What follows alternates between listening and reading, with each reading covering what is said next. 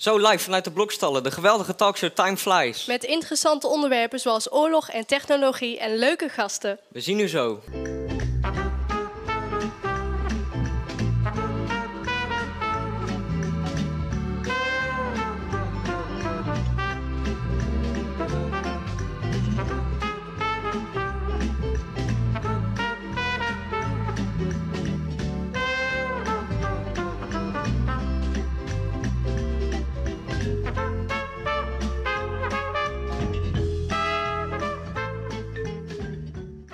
Ja, dames en heren, fijne avond. eh.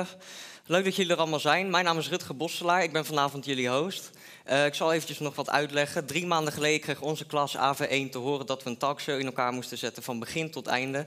En vanavond is dan die avond, vanavond is het zover. Welkom bij de talkshow Time Flies. Eerst nog een stukje live muziek van onze band Frantic.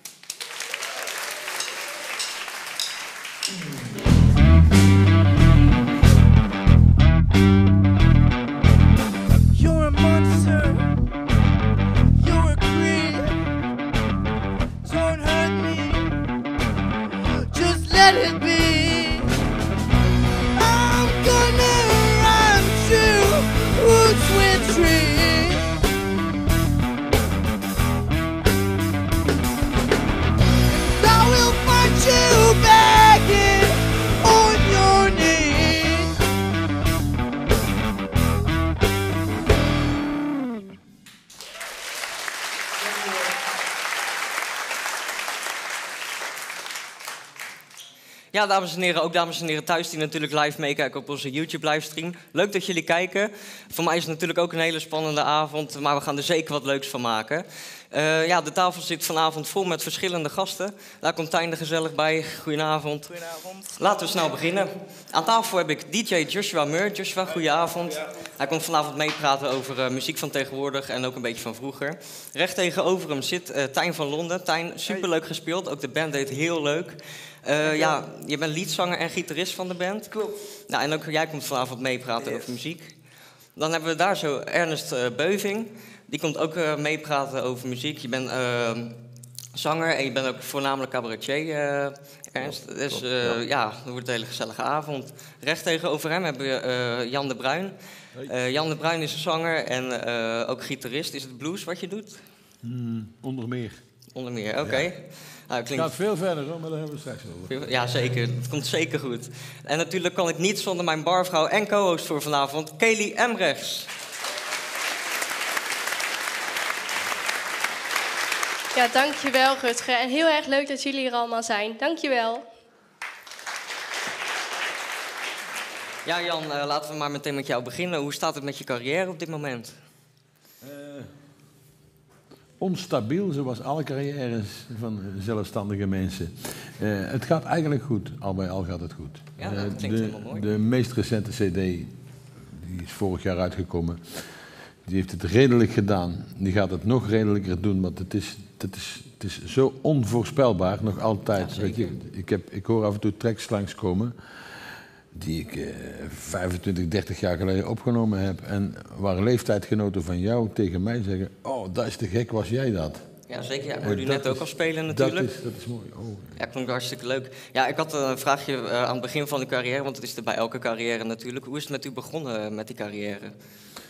Eh, de eerste confrontatie met de gitaar was al eh, voldoende om een obsessie te veroorzaken. Zeker weten. Ja, hartstikke. Ja, als je- Net als Stijn nou ongeveer, denk ik. Ja, als je vroeger zo speelde als nu, dan kan ik dat best begrijpen.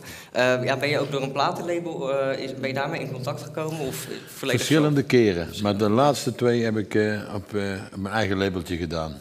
Oké. En dat klinkt veel interessanter dan het is. Ja. Want het is namelijk helemaal niet interessant.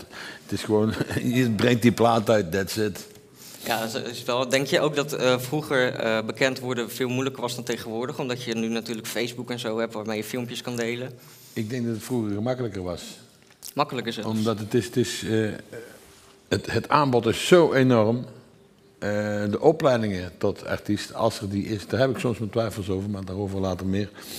Die zijn, die zijn er ontzettend veel, griezelig veel. En op de opleidingen is het tegenwoordig, eh 50% van de opleiding bestaat uit hoe verkoop ik mijzelf.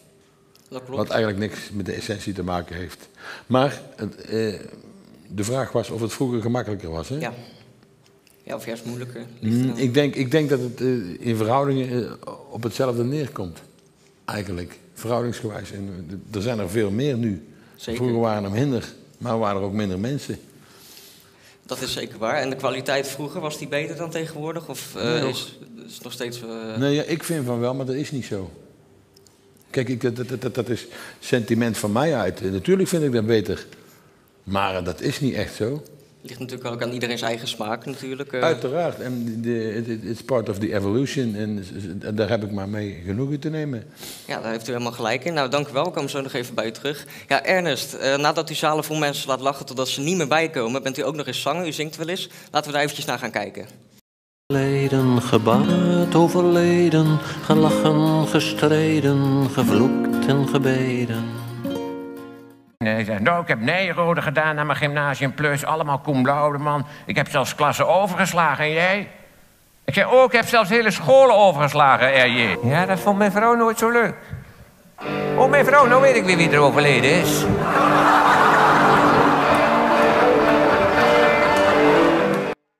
Natuurlijk al heel wat jaren op. Merkt u nou ook veranderingen in het publiek wat u krijgt?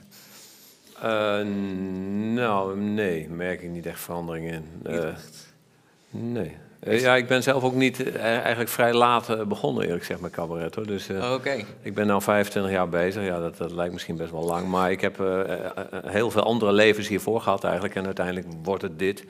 Dus ja, ik ben aangenaam verrast. En, en, nee, en ik vind...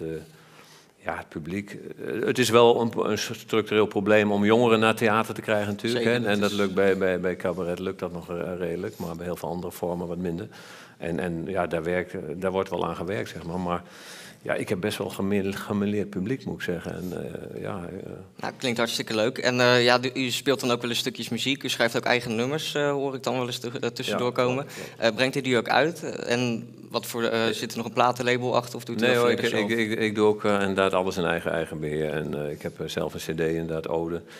En ja, die heb ik opgenomen met heerlijke muzikanten. En, en, en daardoor, door die cd is eigenlijk ook een beetje het idee gekomen dat ik naast cabaret, want hiervoor deed ik eigenlijk alleen maar cabaret, eh, ook echt een, een, een muziekprogramma wilde gaan doen. Zeg maar. Dus een mooie combinatie maken van een live concert met, met, met, met- vier heerlijke muzikanten, wat ook nog vrienden van mij zijn, zeg maar. Maar ook in combinatie met lokale koren werk ik dus ook nog. Dus, eh, Het is van ga- alles wat. Van- Ja, van, van alles wat. Du- Dus, eh, en dat is ook prachtig, want ja, die, die, die koren die zitten achter je en die, die, die liggen dan helemaal, eh, helemaal onder de stoel van, van het lachen om die onzin tussendoor. En daarna ga je weer serieus een, eh, Ja. een, een, een lied zingen en, en dan moeten ze helemaal schakelen. En ja, dat, dat, dat menselijke en dat echte. Ik zeg ook altijd, het is alles behalve een musical wat ik doe. Ik, ik wil een soort, soort echtheid hebben. Je probeert ook, ook een echtheid te raken in humor, in, in, in klanken, in, eh, in woorden, in, in, in improvisaties. En, en, en zo maak je er met elkaar een, een bak energie van, waar- gewoon een zaal niet onderuit kan. En dat is elke keer, moet dat weer op een unieke manier ontstaan met een nieuwe groep mensen. Dus een hele showman. Eh ja, ik heb een vraagje, want eh, zeg maar, ja, u maakt dan muziek ook. Ja, de muziek van tegenwoordig is heel anders dan vroeger. Wat vindt u van de veranderingen in de muziek nu, tegenwoordig? Ehm, ja, eh, er worden. Ik moet eerlijk zeggen, ja, muzikaal gezien eh, ben ik he- heel actief meegegaan tot en met een beetje de crunch, zeg maar. Hè? Eh, Nirvana, Pearl Jam. Ja, ja. En, en, en ja, dat. dat, dat en, en ja, daarna ben ik het wel een beetje. Af en toe hoor ik mooie dingen. En, en, en natuurlijk, ou- oude muziek komt ook heel vaak weer terug in, in, in nieuwe vormen. En ik volg het alleen wat minder, zeg maar. Dat, eh, dus ik, ik, ik kan niet zeggen van eh, ik vind, eh, ik vind het nu niks of helemaal niet. Dat, nee hoor. En, en als ik ook iets hoor wat ik te gek vind, dan moet ik het meteen weten. Zoals ook, ook wat er op Pinkpop langskomt en wat ik dan niet ken, wat ik te gek vind. Ja, daar ga ik meteen achteraan, weet je. Dat, dus ik, ik probeer het wel bij te houden ook, weet je. Gewoon. En, om ook, ook niet alleen maar zo'n melancholische druipkaas te worden die inderdaad het vroeger allemaal beter vond, weet je. Dus dat is Ja, klinkt hartstikke leuk. Ja, Joshua... Maar dat vind ik geweldig hoor. Dat- Ja? Nou, dat is helemaal mooi. Ja, natuurlijk. Een beetje vriendjespolitiek houden. Ja, Joshua. Ja, dat zullen wij nooit krijgen. Ja, dat is goed. Ja, Joshua, jij bent DJ. Eh, jij doet natuurlijk totaal iets anders dan Ernest en Jan. Eh, ja, wat voor publiek trek jij en wat voor muziek maak je? ja, ehm, qua DJ'en is het so far nog een beetje meer eh, andersom, zeg maar. Dus ik zoek niet echt publiek, maar publiek zoekt meer mij. En eh, ja, het is gewoon, het verschilt elke keer op wat voor feestje je moet draaien en zo. En dan is het, eh, ik heb laatst mijn examengala moeten draaien en dan draai je toch alweer een beetje wat mensen willen en zo. En het is nog niet echt alsof ik een artiestenoptreden doe of zo. Dat mensen echt voor mijn muziek komen, zeg maar. Maar je Maar, maakt wel de sfeer op zo'n feestje. Ja, ja, je moet ook wel echt een beetje mensen aanvoelen en zo. Wat, eh, ja, wat wel leuk wordt gevonden onder de mensen en wat niet, zeg maar. En, hoe lang ben je al bezig hiermee? eh, met DJ nu denk ik drie jaar, drie, vier jaar. En eh, als producer ben ik nu al vijf jaar bezig. Op vijf jaar. En wat voor soort muziek maak je dan? Eh, tegenwoordig maak ik ja, een beetje alternatieve future-based. Het zijn allemaal genres van tegenwoordig. En ik maak ook nog wat, ja, niet, ik wil niet per se zeggen duistere muziek of zo, maar het heeft altijd een beetje zo'n eh filmsfeer, weet je wel. ja, dat klinkt heel mooi, ondergrondse, ja. Ja, klinkt heel vet. En eh, ja, als je dan die muziek uitbrengt, eh, merk je dan ook een beetje dat er een bepaald soort publiek dat toch wel aantrekt, of niet? Ja, ja, dat, ja ik heb ehm, een paar nummers via een label uitgebracht. En ja, daar zie je eh, veel meer mensen volgen maar, dat label in plaats van mijzelf, zeg maar. Dus daar krijg je gewoon veel meer plays op en comments en allerlei dingen en zo. En eh, ja, het verschilt gewoon ook per keer, zeg maar. Sommige nummers worden gewoon heel vaak geluisterd en eh, andere gewoon wat minder. Ja, dat is bij iedere artiest Ja, denk ik ook wel natuurlijk. Dus eh, ja, nou ja, hopelijk eh, komt het met jou helemaal goed en word je Ja. nog eens een hele bekende DJ. En eh, voor de mensen thuis, mensen in het publiek, ja, ga hem zeker luisteren. We mag nog even reclame maken snel. Ja, komt goed, komt goed. Nou ja, we hebben het nu over nieuwe muziek gehad, Tijn. Ehm, ik wil toch nog eventjes over oude muziek en nieuwe muziek tegelijk Ja. hebben. Want we hebben nu alles zo wat een beetje gehad. Je hoort tegenwoordig steeds vaker in de nieuwe muziek toch deuntjes uit de muziek van vroeger. Dat hoorde je vroeger natuurlijk ook al. Ehm, ja, wat vind jij daarvan? Is dat... Ik vind eh, ehm, de manier waarop muziek eh, nu gemaakt wordt, vind ik heel mooi. Want vroeger, ze gebruiken gewoon simpelweg soms samples uit oudere nummers. Waardoor ze eh, muziek van vroeger weer gewoon terugbrengen in de hedendaagse pop. En daar ben ik op zich zelf wel voorstander van. Ja, vind je het een beetje ja, het opnieuw beleven zeg maar, van de muziek van vroeger? Dat vind ik dan Ja. zelf. Ja, op Heb jij dat ook op een beetje? een nieuwe manier in een nieuw jasje. Oké, ja, en ehm, moet ik even snel spieken. Eh, ja, want ik hoor steeds vaker zeg maar, terugkomen dat ik een liedje luister wat net nieuw is. En dan denk ik van, hé, maar dat komt heel bekend voor. En dan ga ik het opzoeken en dan denk ik van, hé, maar dat is gewoon de helft van dat liedje, zeg maar. Eh, van dat liedje wat ik dan van vroeger ken. Ja, wat vind jij daarvan? Vind je dat stelen of vind je dat juist... Ehm, als het echt de helft van het liedje echt authentiek hetzelfde is, dan, ehm, dan gaat wel te ver. Maar als ze bijvoorbeeld samples gebruiken die, eh, die je vaag wel kan herinneren uit een nummer van vroeger, dan vind ik het, dan vind ik het oké, zeg maar. Dan vind ik het cool. Ehm, of als ze een bepaalde, bepaalde gitaarlik van vroeger of een andere deuntje gewoon in een nieuw jasje wordt gestopt met nieuwe sounds, dan eh, ja, vind ik dat gaaf. Nou, klinkt heel gaaf. Ja, ik vind het zelf ook natuurlijk heel gaaf. Eh, ja, dankjewel Tijn. Just, we gaan nog eventjes naar jou terug. Eh, want jij maakt nu natuurlijk hele nieuwe muziek van tegenwoordig. Stel, jij was in de jaren 70 en jij had die muziek al. Eh, denk je dat je bekend was geworden met die muziek? Ehm, lastig. Ik eh, denk het niet. Ik denk dat mensen het echt een beetje op afstand hadden gehouden. Want ja, het is wel echt een verschil. Ook gewoon überhaupt de hele elektronische muziekwereld van nu. En vroeger, zeg maar, toen had je het ook al wel een beetje. Maar het, eh, het, was, ja, het is zo gedateerd vergeleken met nu, zeg maar. Ja, zeker. Ik eh, denk niet dat het heel erg gewaardeerd zou worden. Ja, dat is Ja. iedereen zijn eigen mening. Ja, misschien veel ook weer wel. Of zo. Ja. Ik heb ook hele rustige nummers en zo, die wel gewoon, ja, nu ook gewoon veel geluisterd worden. Dus ik heb geen idee, maar ehm, Het zal altijd de vraag blijven natuurlijk. ja, precies. Nou, in ieder geval dankjewel Joshua, Tijn, Ernst, eh, Ernest en Jan. Helaas moeten we nu afscheid van jullie nemen. Ja, Rutger, wacht even. Ik heb misschien nog een leuk ideetje. Wat nou als Stijn samen met de band van Frantic en samen met Jan op een bestaand nummer een nieuwe tekst gaan schrijven? En dan vraag ik hier uit het publiek tien woorden en die moeten dan met het thema te maken hebben. En die verwerken zij dan weer in het nummer. Oké, dus eh, het wordt een, een liedje van vroeger dan, zeg maar, wat toen bekend was. Eh, en dan tien woorden uit het publiek. En dan, eh, zij maken dan een liedje op. Moet het chronologisch eh, voorkomen? Ja, dat is wel makkelijk, denk Oké, ik. dan ja. maken we het nog even extra moeilijk. Wat vinden jullie ervan? Nou, ja, dat gaan we gewoon doen, denk ik. Ja? Toch? we gaan proberen. We gaan Ik denk dat Jan er heel veel zin in heeft. nou, dan gaan we dat doen. Eh, blijf nog even zitten. Dan gaan we... Ja, dan ga ik gewoon richting het publiek. Eh, mevrouw, heeft u misschien een woord wat met time flies te maken heeft? Och jee. Ja, moeilijk hè? Denk even na. Nee, geen idee. Dan ga ik gewoon even naar de volgende, geen probleem. Mevrouw, heeft u toevallig een woord? Ik denk een woord dat iedereen wel kent. Love. Love, zeker. Noteer je die, Rutger? Zeker, dat vind ik een hele Love, mooie. hele Voor het publiek mooie. verder trouwens, eh, denk alvast na over een leuk woordje. Dan eh, wordt het wat makkelijker. We hebben er tien nodig. Dus... Meneer, geeft u een woord? Always. Always. Oké, oké. En mevrouw, heeft u een woord? Um, too fast. Oké, oké. Kun je het bijhouden, Rutger? Ja, Too Fast, leuk Engels ertussendoor, Ja? tuurlijk. En mevrouw, heeft u een woord? Nee, niet op het moment. Nee, geen probleem. Dan ga ik gewoon naar de volgende. Mevrouw, heeft u een woord? Tijd. Tijd, heel Zeker, toepasselijk, ja. zeker. Heel toepasselijk. Mevrouw, heeft u een woord? Ik zie u wel een beetje betwijfelend kijken. Flower. Oké, oké. Ja, kunnen jullie daar iets mee? Wat Ja? was het woord ook weer? Flower. Flower. Flower? Is helemaal goed. Ja? Hippie tijd, ja hoor. Mevrouw, heeft u een woord? My friend.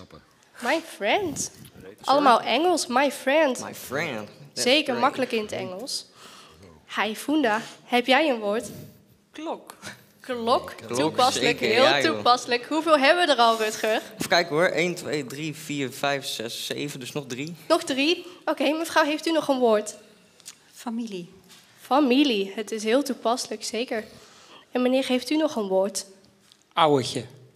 Oké, oké. Ja. Noteer je die? Zeker. En de laatste, meneer, heeft u nog een woord? Toekomst. Toekomst, heel Hey, ja, toepasselijk. dat vind ik een hele zeker. mooie. Nou, jullie horen het, heren. Als jullie mij eh, volgen, dan kunnen jullie gaan beginnen. Dan gaan we dat doen. Ja, hier heb je het kaartje. Ik hoop dat je het kan lezen, want mijn handschrift is eigenlijk wel om te janken. Ja, dus prima. succes daarmee in ieder Prima. geval. Dat is al één opdracht. Nou, eh, we komen natuurlijk nog eventjes een paar keer bij jullie kijken hoe het gaat. Geef ze nog een hartelijk applaus.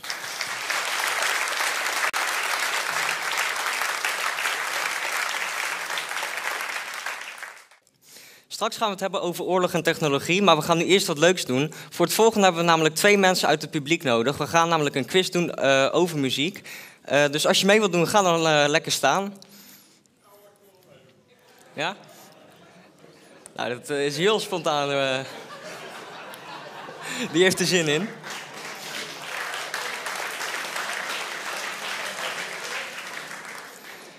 Ja, eh, we hebben dus twee mensen uit het publiek. En eh, ja, er komt een eh, beetje moeilijkheid in van een hopelijk muziekkenner. Joshua Meur gaat namelijk ook meedoen. Dus Joshua, ja, je mag alvast naar de, de bar lopen. Dan zal ik nog eventjes uitleggen hoe we het gaan doen. Want er zit nog een hele uitleg bij namelijk. Daar gaan we. We hebben namelijk in de stad aan een paar mensen stukjes muziek laten horen. En eh, zij moesten dan raden eh, welke artiest het is en welk nummer ze te horen kregen. Zo laten wij straks ook aan de deelnemers en aan Joshua eh, de stukjes zien. ook met de mensen erbij. Tussen elk stukje heb je 10 seconden om nog op te schrijven welk liedje en artiest jij denkt dat het is. En dat doen we zo drie keer. En aan het einde is er nog een bonusvraag. En ja, degene met de meeste antwoorden goed, die krijgt een leuke prijs mee naar huis. Geef nog een groot applaus voor de deelnemers.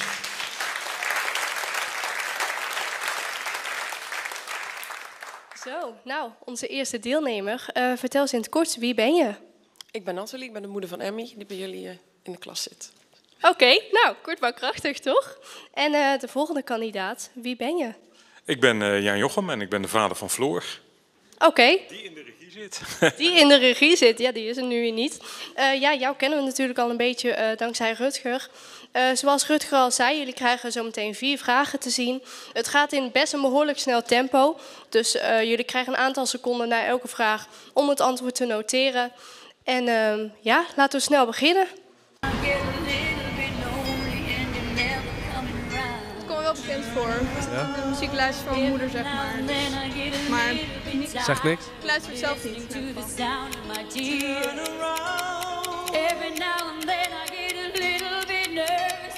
Best of all the years have gone by. ken het wel, maar ik kan het niet benoemen. Nee? Nee. Eh, artiest ook niet? Nee.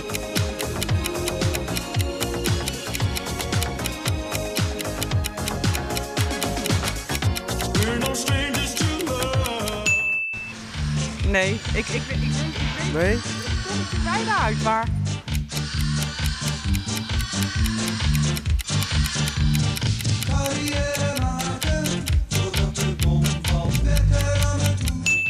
Wat speelde nog meer af in de jaren 70, 80? Er was iets wat heel veel mensen betrok, bijna iedereen in de wereld.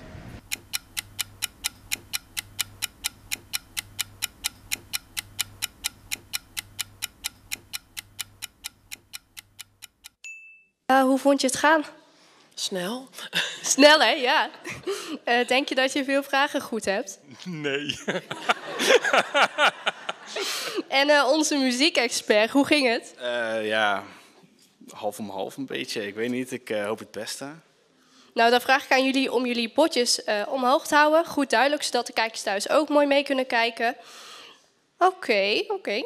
Nou, dan gaan we gewoon kijken wat de, de goede antwoorden zouden moesten zijn. Steps of the Heart van Bonnie Tyler. Oké, ja, prima. Oké. Rick Astley, Never Gonna Give You Up. Ja, never gonna give you up, zeg ja. De bom was inderdaad goed. Ja. Van Doe Maar. Doe, ja, voor mijn tijd een excuus. Ja, dat is waar. In de jaren tachtig, je had die, eh, al die demonstraties tegen eh, ja, eh, Koude Oorlog. Dat is eigenlijk wat nu ook eh, weer speelt. Ik denk dat je dat, dat bedoelt, hè? Ja. Dat was hem inderdaad. Dat was hem inderdaad. Hoeveel heb je er goed? Drie, denk ik. Ja, drie. Drie? Oké. Nou, drie punten voor jou in ieder geval. Hoeveel heb jij er goed? Eh, twee. Twee, oké. En hoeveel heb jij goed? Ook twee. Ook twee. Nou, dan denk ik dat wij een duidelijke winnaar hebben. De winnaar is namelijk Nathalie. Geef haar een daverend applaus.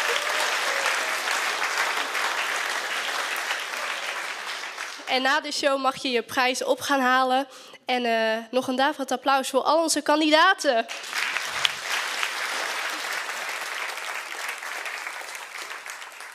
Ja, Nathalie, nog eh, gefeliciteerd. Eh, ga lekker zitten en eh, nog geniet van de show. Dan gaan wij verder. Aan tafel heb ik Rick Fransen. Rick, je bent speedrunner en online gamer. Dat klopt. Schuin tegenover jou zit je broertje. Of je broer, wat was het? Ja, je broertje, kijk. Ja, dat is Jeroen Fransen.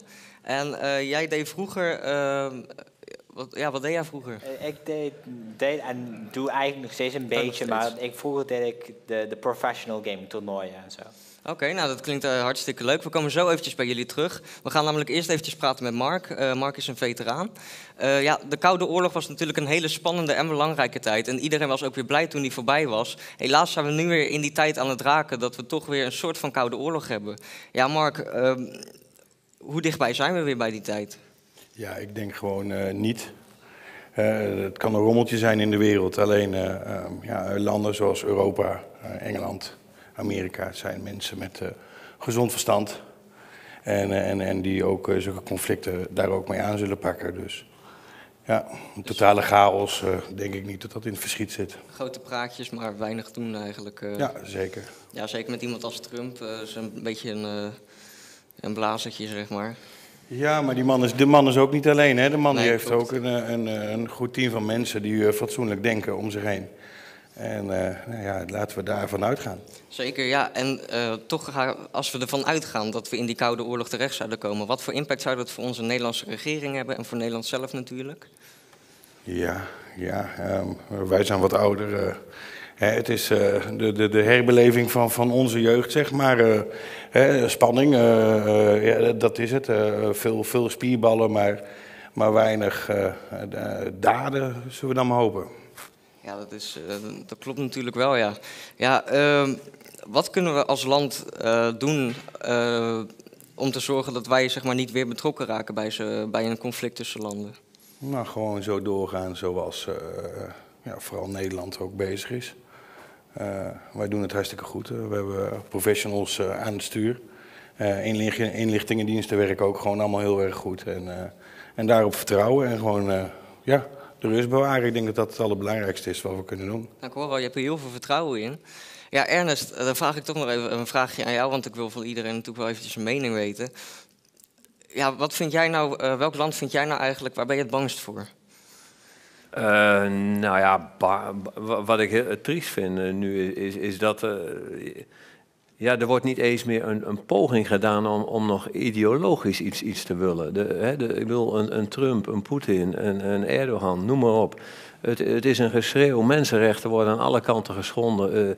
Het grote graaien over de rug van iedereen. ja, dat moet in één, dat, is, ja, dat stuit mij tegen de borst. Ik bedoel, heel veel ideologisch geklets wa- was vroeger ook, eh, maakte ze in de praktijk nog niet zoveel van waar, maar er werd nog getracht om, om iets ideologisch neer te zetten. Ja, eh, tegenwoordig hoeft dat kennelijk niet meer en dat, dat, vind, ik, dat vind ik een soort uitholling van, van gewoon een menselijke moraal.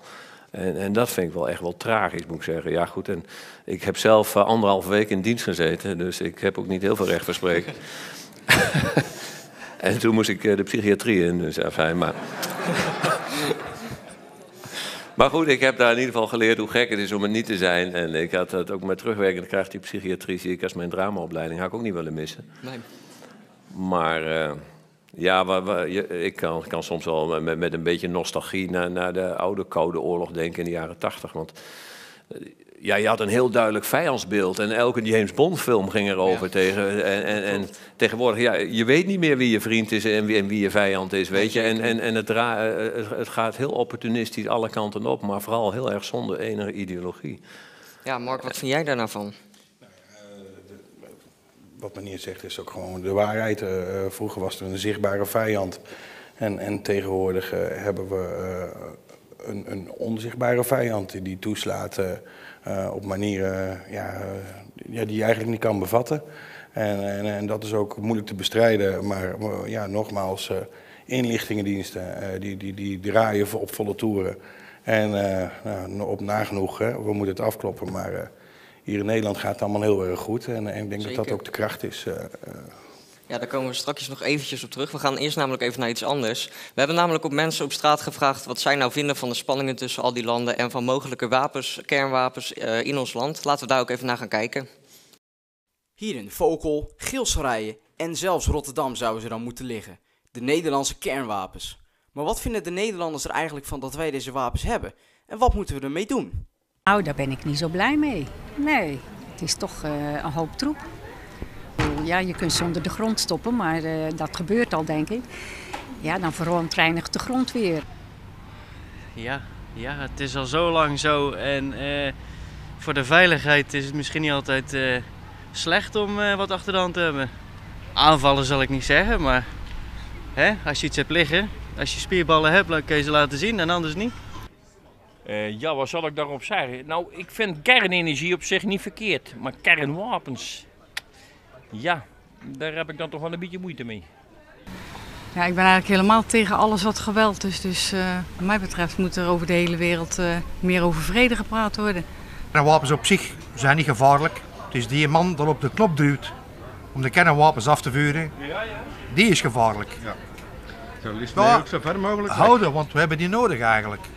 Nee, om onze vijanden af te schrikken. Mijn tijd van leven is al een heel eindje voorbij, maar jullie zijn nog jong.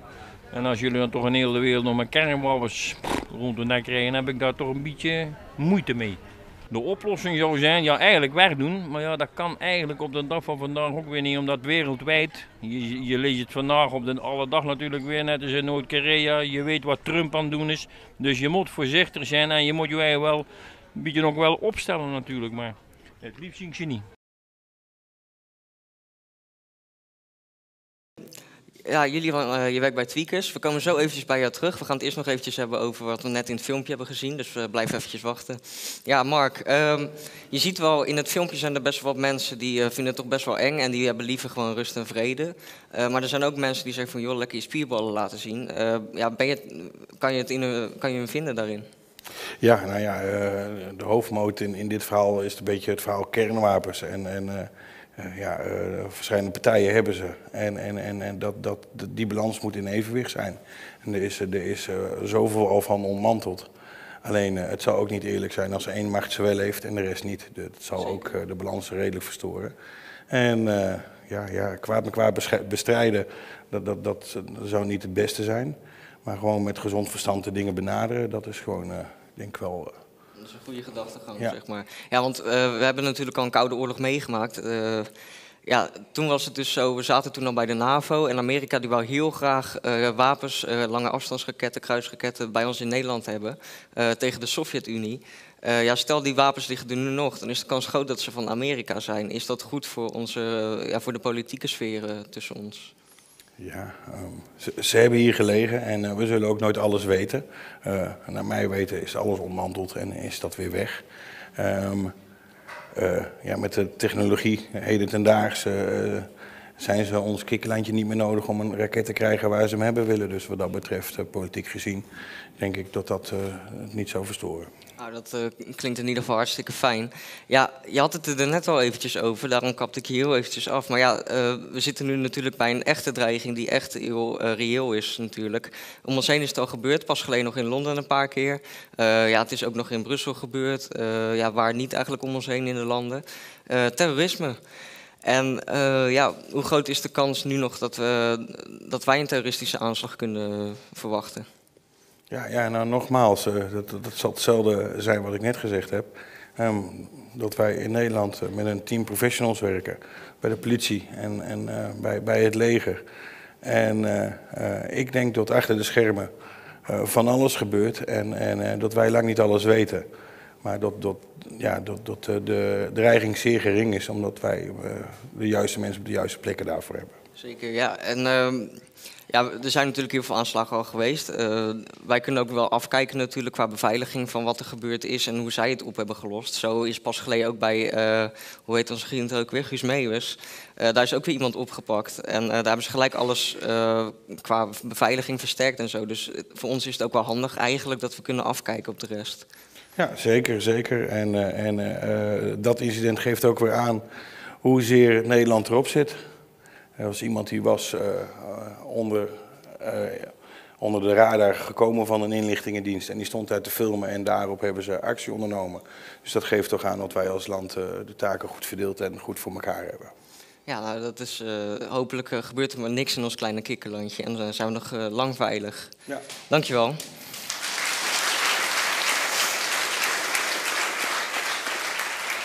Ja, voor het volgende onderwerp eh, gaan we eventjes naar Jeroen. Maar voordat we met jou gaan praten, hebben we eerst een kort filmpje.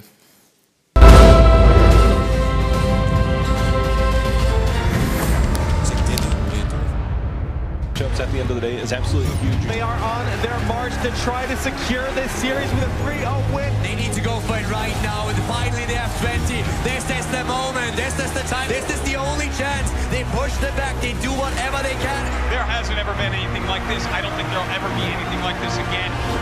It's going to be so difficult to stop this now. The shields are down. Is it going to land? Doing what was considered impossible in the most important moment of all. Ja, Jeroen, eh, ik, zag, ik zie jou helemaal eh, glimlachen natuurlijk. Ehm, ja, je doet het nog steeds, zei je, Yes. maar niet meer zoals vroeger, zeg maar. Niet, niet zoals vroeger, maar de reden waarom ik zo, zo vrolijk erom was, is... Vroeger deed ik Smite. Het is een vergelijkbaar spel met wat je net zag in Heroes of the Storm. En de gaat is wat ik nu doe, Heroes of the Storm. Ah, Oké. Ja, dat klinkt natuurlijk hartstikke eh, leuk.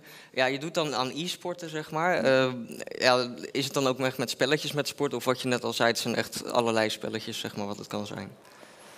Ehm, nou ja, de, de echte e-sports is dan wel... ehm, je hebt een, een paar verschillende soorten. De, de grootste is denk ik toch wel de MOBA, de, de- nou ja, wat je net zag, de Heroes of Storm, de League of Legends, de Dota. Ja, zeker. En dat, dat zijn een hele grote team. Counter-Strike is, eh, nou ja, dat is geen MOBA, maar dat is ook een hele grote e-sport scene.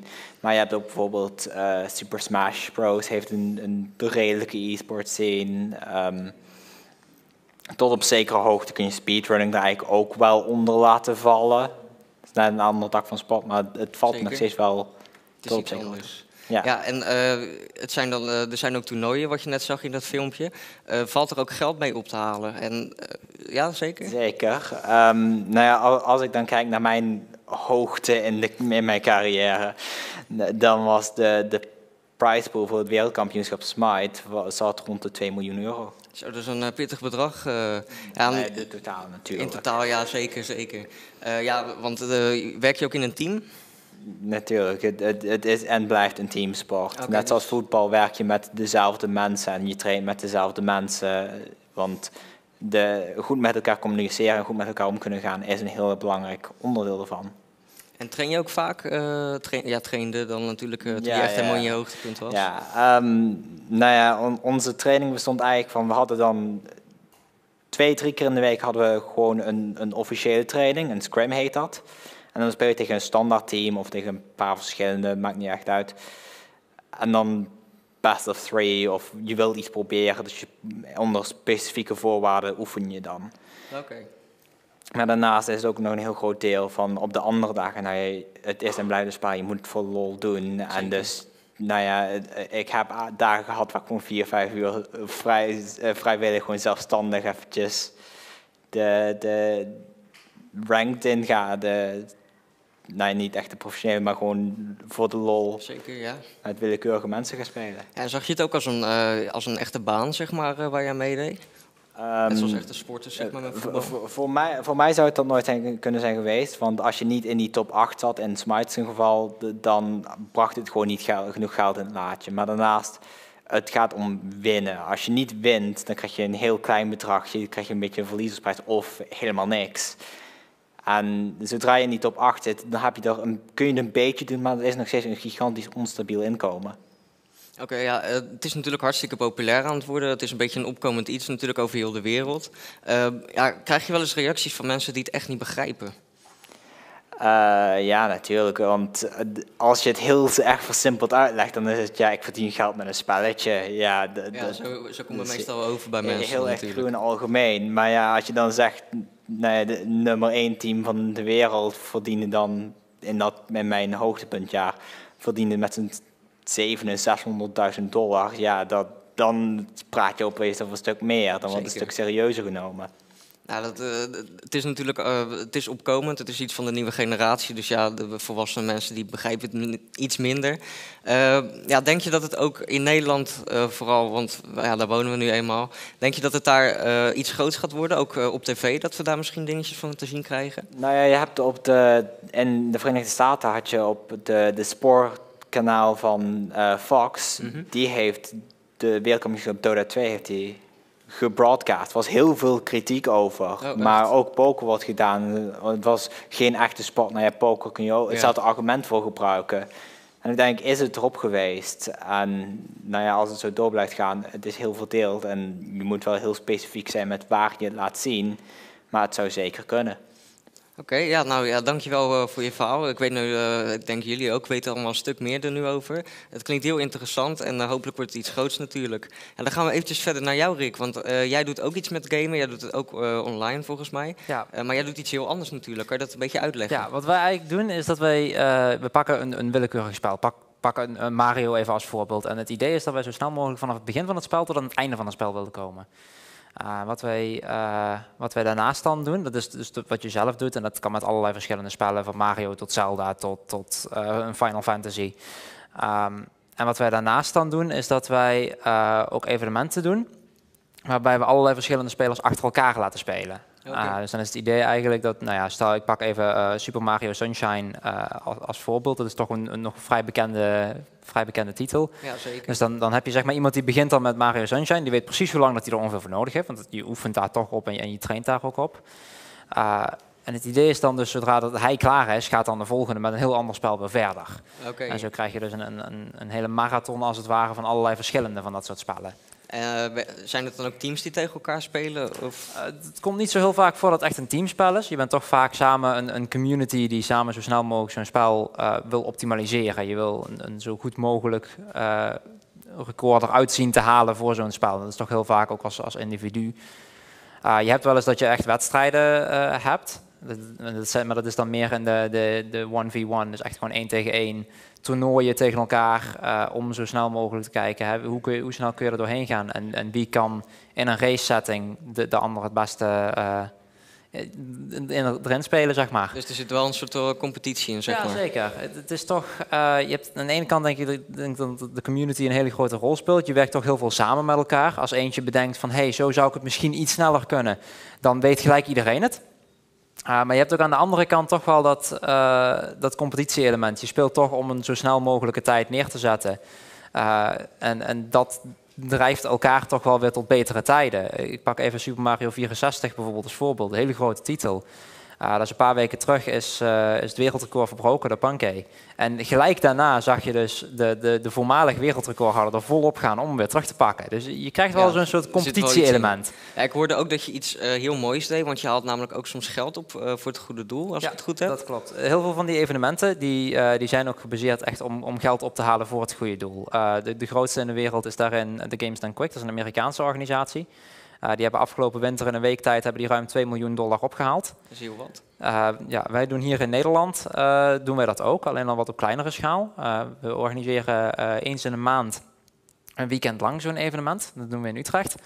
En daarbij halen we dan geld op voor KWF kankerbestrijding. Daar hebben we nou in, in zeven maanden tijd iets meer dan 10.000 euro voor opgehaald. Ja, dat is natuurlijk een heel mooi gebaar wat je kan doen met ook nog eens de passie ja, die je precies. En, en aan de ene kant, het is heel erg begonnen als gewoon je komt samen met een zooi vrienden en, en je maakt er gewoon een leuk weekend van. Want uiteindelijk is dat toch hetgeen waar je naartoe wil. Uh, en op een gegeven moment hadden wij zoiets van, ja, maar we kunnen dit ook doorzetten. En we kunnen er ook echt iets voor gaan doen om, om toch ook ons aandeel te doen om, om de wereld een beetje verder te helpen. Dus we zijn daar ook geld mee op gaan halen. Uh, voor het goede doel en met, met groot succes. Ja, zeker. Nou, het klinkt echt als een heel mooi verhaal. Heel mooi gebaar maak je ermee.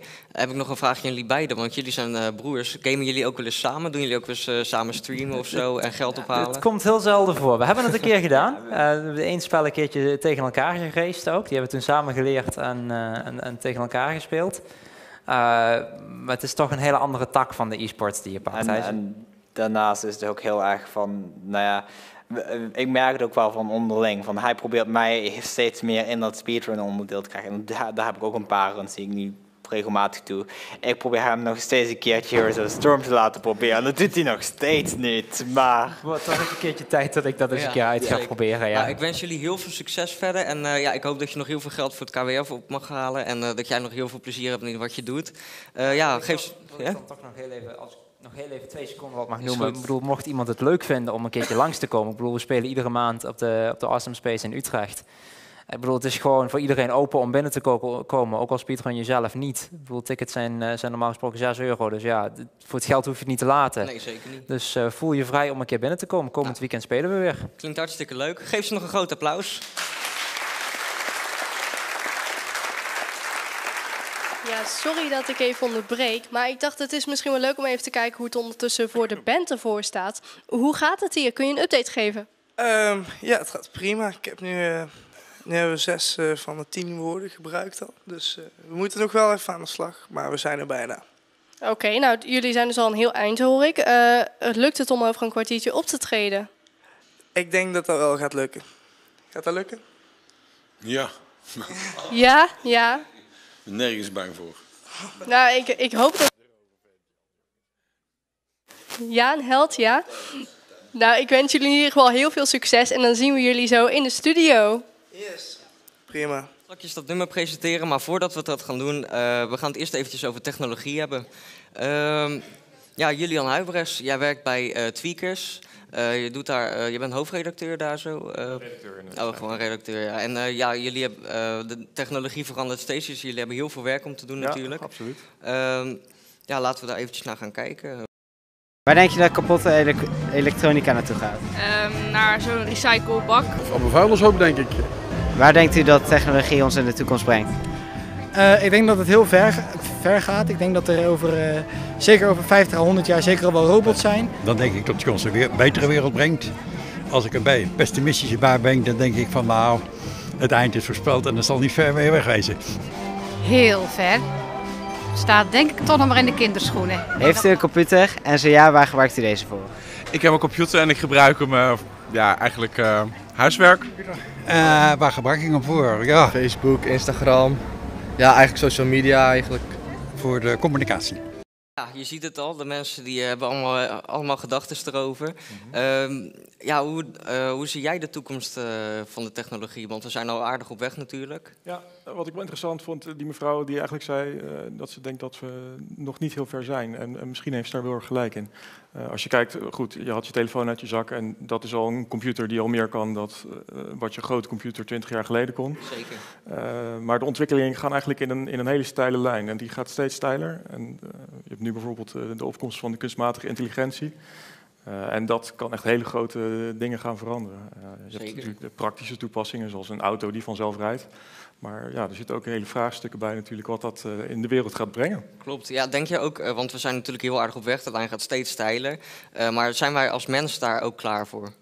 Nou, als, als mens veroorzaken we het. Dus kijk, ja, het doembeeld is natuurlijk dat eh, het Terminator-scenario, dat de, de kunstmatige intelli- intelligentie zelf alles overneemt. Ehm, en dat is ook echt een, een, een reëel eh, iets waar je van bewust moet zijn en, en waar je mee om moet gaan.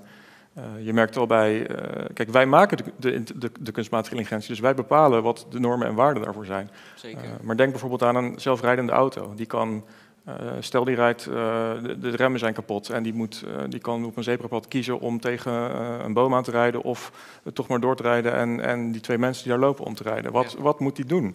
Eh, dat moeten wij nu gaan beslissen en bedenken. En dat is een heel erg eh, ja, belangrijk punt waar we op zijn, wat we Zeker. allemaal moeten bepalen. Ja, heb je ook eh, slechte, zijn er ook nadelen van die technologie, eh, van die ontwikkelingen waar we nu in zijn? Nou ja, dit kan dus een nadeel zijn, want wie gaat het bepalen? Wie gaat zeggen, moet, moet de auto moet die kiezen voor de rijder of voor die groep kinderen die daar staat? Dat eh, wordt een hele lastige keuze. En denk je ook dat de techniek zeg maar, te veel van ons over gaat nemen? Dat, we eigenlijk nog, dat wij er geen controle meer over kunnen hebben? Dat het Nou ja, maar het wordt- kleinste dingetje maar hoor, geen Terminators natuurlijk. Precies, maar er wordt natuurlijk al, al, al tientallen jaren gezegd dat de, de mensen niet meer zullen werken, want we zullen allemaal door robots vervangen worden. Eh, nou ja, in, in theorie zouden we het allemaal kunnen doen, maar we doen het niet. We, we blijven allemaal werken, we blijven allemaal op kantoor zitten en, werken. Dus dat, dat, de- dat zie ik nog niet zo snel gebeuren. Maar eh, het, het, het, het groot doel van technologie is natuurlijk wel om, om het leven makkelijker te maken, om dingen Zeker. ons uit handen te nemen. En in, in heel veel manieren kan dat ook. En, En eh, ook qua medisch, aan de medische kant natuurlijk, eh, medische daar kant, gaat het ook heel erg op vooruit. Precies, eh, de ruimtevaart, de Maar het is, transport. het is wel heel duur natuurlijk, dat is ook wel een nadeel denk ik eh, die je eraan kan geven. Nou ja, eh, wat is duur? Het, het wordt natuurlijk allemaal goedkoper. Als je kijkt wat je, wat je, nu, wat je telefoon nu kan, dat kostte twintig jaar geleden kostte dat een vermogen. Dan was het een supercomputer. Eh, en dat gaat alleen maar sneller en dat zal altijd blijven veranderen. Ja, het nadeel van eh, die eh, technologische ontwikkelingen zijn natuurlijk ook... Ja, wij, eh, ik als jongere en ja, Mhm. jullie ook natuurlijk wel allemaal hier aan tafel. Jullie kunnen je er goed in vinden. Ik bedoel, ja, een smartphone, volgend jaar komt er weer een nieuwe uit, neem ik die. Ik weet hoe die werkt. Maar ja, er is natuurlijk ook nog een hele groep oudere mensen... En die vinden het echt heel moeilijk om bij, bij de les te blijven, bij de tijd te blijven. Ja, ga, denk je dat daar nog verandering in zou, zal komen? Ja, dat is een goede vraag. Het is natuurlijk heel lastig. als je ziet dat veel meer dingen worden allemaal digitaal. Als je, als je, je kan bijna niet meer zonder computer. Want dan kan je nog bankieren eh, met, met papieren afschriften. Nou ja, misschien nog net. Maar dat zal ook niet meer heel lang duren voordat het allemaal weggaat. De belasting betalen en, en, en steeds meer, ook, ook vanuit de overheid en vanuit instanties, wordt het allemaal heel erg op gepusht dat het allemaal digitaal gaat. Zeker. En er is natuurlijk wel een groep mensen die, de, die daar minder goed mee overweg kan. Maar ik denk dat het dan eigenlijk meer een, een maatschappelijk, maatschappelijke verantwoording is die eh, nou ja, dan misschien de jongere mensen moeten nemen om dan de oudere mensen daarbij te helpen. Klopt, maar denk je dat het pushen naar eh, internetbankieren en zo, dat soort dingen, alles via internet, via computer, denk je dat het pushen naar die oudere generatie, eh, denk je dat dat gaat helpen of wordt het ze juist moeilijker gemaakt zo? Ze moeten Nou ja, ze dit is hebben geen keus. ook, ook, ook, eh, ik heb dat zelf ook met sommige dingen. Het is niet fijn als dingen veranderen. Je wil gewoon lekker blijven bij zoals het is. Maar ja, dan gaat de wereld ook niet vooruit. Nee, klopt. Eh, dus er, daar zullen mensen niet blij mee zijn. Maar ja, dat is misschien de, de prijs die je betaalt voor, voor de vooruitgang in sommige opzichten. Ja, dat is ook zo. Ja, en natuurlijk, technologie gaat heel erg op vooruit, dat heb ik nou al een paar keer gezegd. Ehm, met het milieu gaat het niet zo goed. Denk, je, eh, wat kan de technologie daarvoor voor ons eh, bij helpen? Ja, nou ja, je hebt nu bijvoorbeeld het elektrisch rijden, wat natuurlijk ook een enorme eh, technologische vooruitgang doormaakt. Uh, en ja, bij, dit soort dingen spelen zoveel belangen. De, de, de, de, techniek is er, is er eigenlijk al om gewoon uh, schoon te rijden, schoon auto te rijden. Maar toch is het, het aantal auto's is nog heel klein. Ja. Uh, maar ja, de, de, de oliemaatschappijen hebben natuurlijk allemaal hele grote belangen. Klopt, maar jij zegt ja, het is elektrisch rijden is veel beter. maar als we dan het lijntje volgen naar het begin, mm -hmm. dan zien we dat we bij een kolencentrale meestal nog uitkomen. Of ja. een gascentrale. Ja. Daar zit het probleem nog wel. En daar is die ontwikkeling nog niet echt. Omdat mensen daaraan willen verdienen nog. Maar bijvoorbeeld de, de, de, de, de zonnepanelenindustrie, die, die maakt ook nog altijd ontwikkelingen door. Uh, zonnepanelen die worden steeds efficiënter. Uh, en ja, je kan, binnen, je kan over niet al te lange tijd kun je een soort van dak kopen, wat er ook uitziet als een dak en wat ook ondertussen een zonnepaneel is. Dus het zijn niet meer per se onhandige glazen zwarte panelen. Dus ja, als, als iedereen die dingen op zijn dak zou hebben liggen, dan zouden we wel een heel stuk verder zijn. En ontwikkelt dus uh, de, groene de groene energie zich snel genoeg om ja, bij het elektrisch rijden bij te blijven? Ja, ik denk het wel, omdat het elektrisch rijden zich ook niet zo snel ontwikkelt. Op zich de, de technologische ontwikkeling wel, maar als je kijkt naar ja, hoe, als je op straat loopt, hoeveel elektrische auto's zie je. Ja. Dus, uh, maar goed, inderdaad, als, als morgen iedereen besluit elektrisch te gaan rijden, dan hebben we natuurlijk een enorm ja. probleem uh, met de toelevering van stroom. Maar ja, dat zijn alle twee groei, uh, groeimarkten en dat zal wel met elkaar oplopen. En. Maar denk je dat het goed komt? Ik denk zeker dat het goed komt. Als je kijkt naar, uh, naar alle mogelijkheden die we hebben, dan uh, moet je ook een beetje in het goede geloven. Nou, dat klinkt hartstikke mooi. Ja, Rick, uh, nu we het over technologische ontwikkelingen hebben. in de gamewereld verandert er natuurlijk ook heel veel. Merk je dat ook?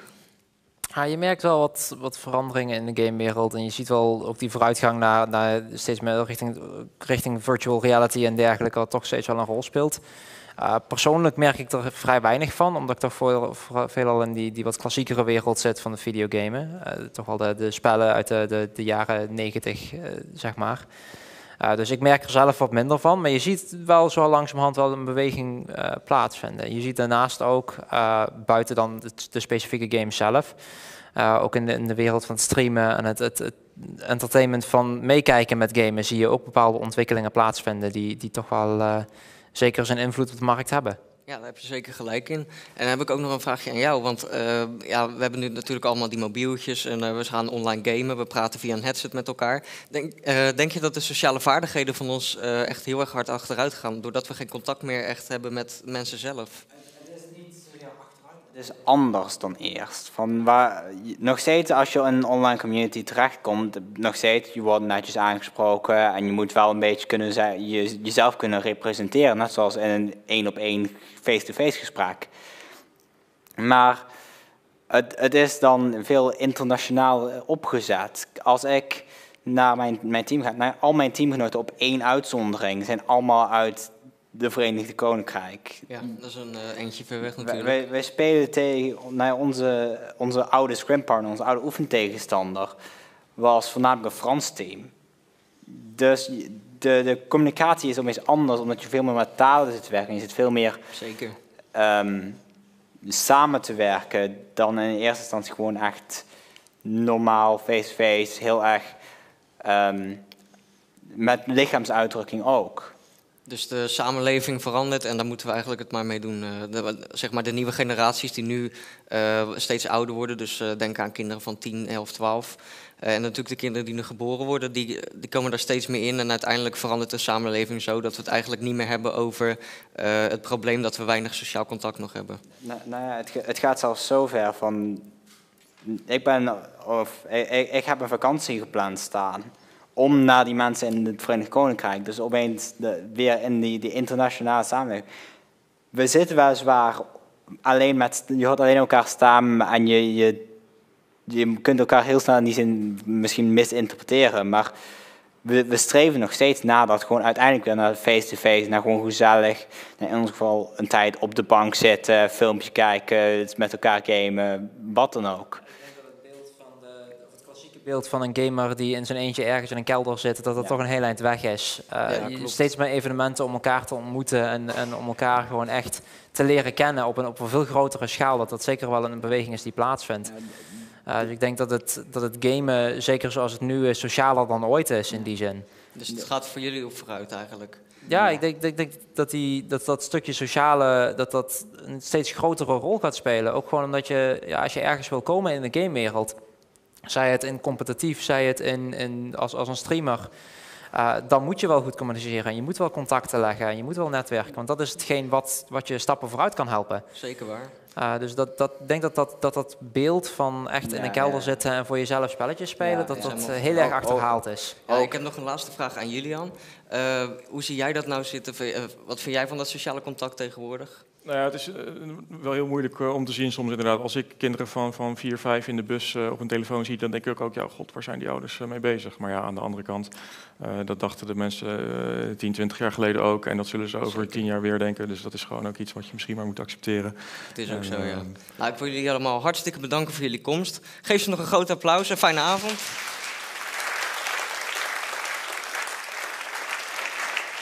Nummer van de band gaan, hebben we eerst voor jullie nog een leuk entertainment filmpje. Daar gaan we even naar kijken. Vandaag is onze verslaggever langsgegaan bij een bejaardentehuis in Vlissingen. Om naar een mening te vragen over technologie zoals contactloos betalen, hoverboards en tablets. Dan gaan laten we even een filmpje kijken voor uh, contactloos betalen. Contactloos betalen. Zo werkt het. Gemakkelijk, snel en veilig afrekenen? Dat kan door contactloos te betalen. Staat op jouw betaalpas dit symbool? Dan kun je contactloos betalen. Ik weet er niks van, interesseert me niet. Ja, ik vind het wel ideaal. Ik heb al zo'n pasje. Oh. Ja, en uh, ik heb uh, begrepen dat het handig is, maar ik gebruik het eigenlijk nog niet. Oh. Maar uh, ja, ik kan, het gewoon, ik kan het gewoon doen. En dan gaan we verder naar het volgende onderdeel, en dat is de iPad. Dan gaan we nu even een spelletje spelen.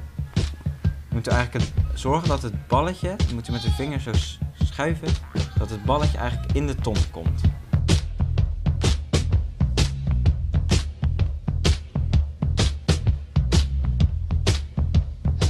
Nou, mag ik het gewoon echt zeggen? Ja. Vrij waardeloos. Ja? Ik vind het wel wat, maar ik zou het zelf niet, niet meer kunnen. Op zich is dat wel een leuke... Uh, uh, je moet het eigenlijk zelf wel aanschaffen op een duur, want anders loop je gewoon achter. Nou, dan gaan we naar het, uh, het laatste onderdeel en dat is het hoverboard. Daar gaan we ook even een filmpje van kijken. Hoe stap je nu op het uh, hoverboard? Je pakt eigenlijk de voet die je altijd meestal neemt, ook met het fietsen waar je mee begint. Dat is bij mij dus in dit geval uh, de rechtse. Zoals je kan zien, vanaf het moment dat je je voet erop zet, begint hij al uh, te reageren. Dus in het begin kan je je best even vasthouden aan een schutting of dergelijke. En dan doe je kalmpjes aan. Ofwel, iets wat ik ook nog heb gedaan, is uh, tussen twee stoelen. Nou, dat vind ik wel leuk om naar te kijken, om eerlijk te zijn hoor. Ja? Ik zou er zelf nooit op gestaan, absoluut niet. Maar uh, ik vind het wel geinig. Doe wel. Als je naar rechts wil, draai je lichaam naar rechts. Wil je naar links, draai je lichaam naar links. Toen, heb ik, toen begon ik slecht te lopen en toen heb ik al gezegd, hé, hey, wordt dat niks voor mij, dan kan ik zo maar. Maar toen zei ze, nee, moet je niet proberen. maar dat gaat niet. Hoe is het mogelijk dat je er niet afvalt? Nee, daar begin ik niet aan. Nee. nee. Ja, ik sta hier bij de band Frantic en natuurlijk bij uh, Jan de Bruin. Ze hebben de hele show lang uh, kunnen werken aan het uh, muziekstukje. Uh, ja, Tijn, hoe is het gegaan? Ja, het ging eigenlijk wel goed. Het uh, verliep al best soepel en snel. Ik heb gewoon de originele tekst gepakt. En die, die woordjes er een beetje tussendoor gehusseld. En uh, ja, we gaan het gewoon lekker spelen, denk ik. Ja, en uh, hebben jullie allemaal een beetje... Het kan wel, ja, jullie spelen natuurlijk alleen het nummer. Jullie hoeven niet te zingen, dus voor jullie gaat het allemaal wel, hè? Voor jou was het dan een uitdaging, denk ik? Nou, jawel, op zich. Nou ja, dat uh, klinkt hartstikke goed. Nou, dames en heren, uh, dan gaan we lekker luisteren naar Frantic en Jan de Bruin uh, op, met, het, met het liedje Billie Jean. En natuurlijk met de woorden uit het publiek. Veel plezier.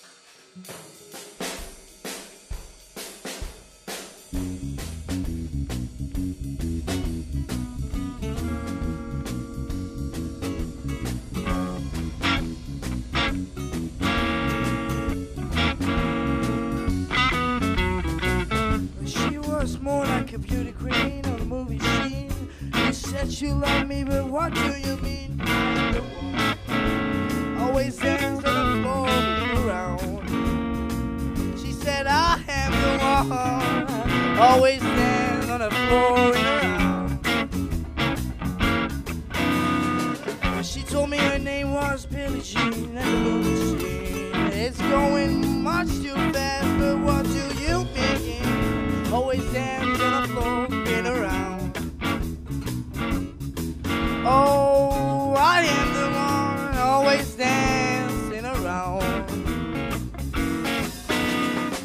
People always told me, be careful, there's no time. Oh, give the flower to the one you love. And mother always told me, watch the clock so you know the time. Oh, Billie Jean is not my lover.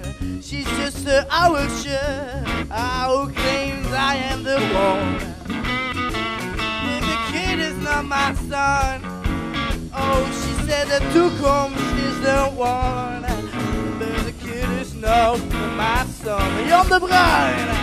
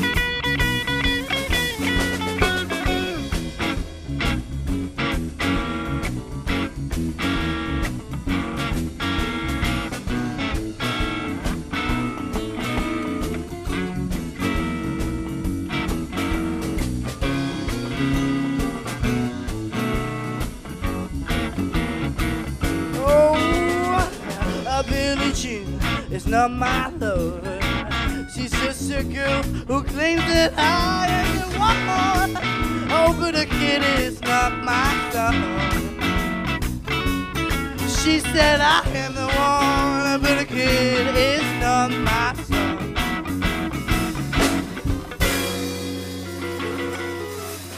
U wel. Ja, dames en heren. Dat was alweer het einde van de show. Ja, ik wil toch nog eventjes dat jullie één keer een hartelijk applaus geven aan, aan de band en aan eh, Jan de Bruin natuurlijk, want ze hebben het echt fantastisch gedaan.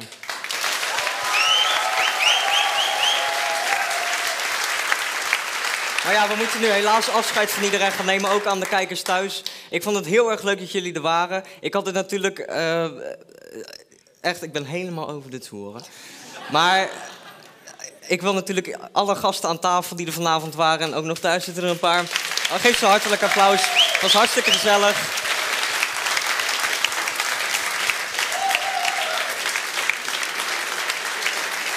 En natuurlijk hadden wij dit niet kunnen doen zonder al onze lieve collega's van AV1 en natuurlijk ook de petters. Geeft u ook een welverdiend applaus.